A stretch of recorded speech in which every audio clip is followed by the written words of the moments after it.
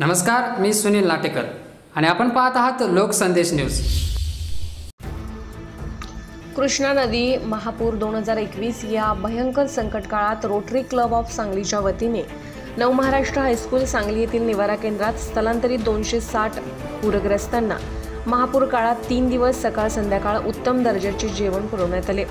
तसेच पूर कालावधी आणि सतत चोवीस तास काम करणारे आपले सांगलीचे पोलीस बांधव यांना सायंकाळचा एक दिवस नाश्ता पाणी प्रत्यक्ष जागेवर जाऊन देण्यात आला. यावेळी रोटरी क्लब ऑफ सांगलीचे Rotarian Akhil Samani Manish Marathe Yashank Gokani Ramkrishna Chitale Vipul Shah M V Kulkarni Kishor Lulla Amol Kulkarni Ajay Shah Suhas Kute Girish Tangadi कार्यरत होते. तर रोटरी अध्यक्ष भास्कर तामणकर आणि- आणि सचिव सी ए साहिल लिमये यांच्या नेतृत्वाखाली हा कार्यक्रम पार पडला.